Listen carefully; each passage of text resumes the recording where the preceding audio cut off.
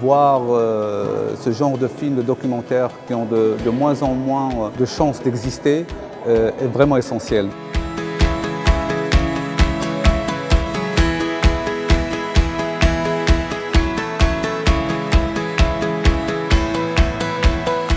Le temps que les gens peuvent prendre pour, pour, témoigner de ce qui se passe dans le monde au niveau des violations de droits, si on n'a pas de festival comme ça, on n'en parlera pas. Donc je pense qu'il est fondamental de parler l'histoire de gens qui résistent pour que les autres vivent librement.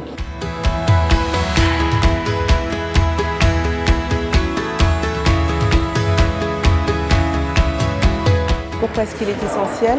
Parce qu'il nous permet euh, de discuter, de, problématiser euh, des euh, violations des droits humains partout dans le monde. Et quand je dis partout dans le monde, ça veut dire aussi en Suisse, ça veut dire aussi à Genève.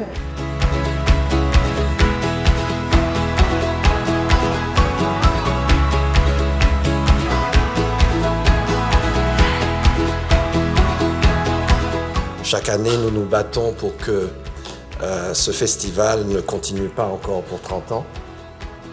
Mais je crains que les hommes n'ont pas cette sagesse et que nous allons devoir faire beaucoup de films encore.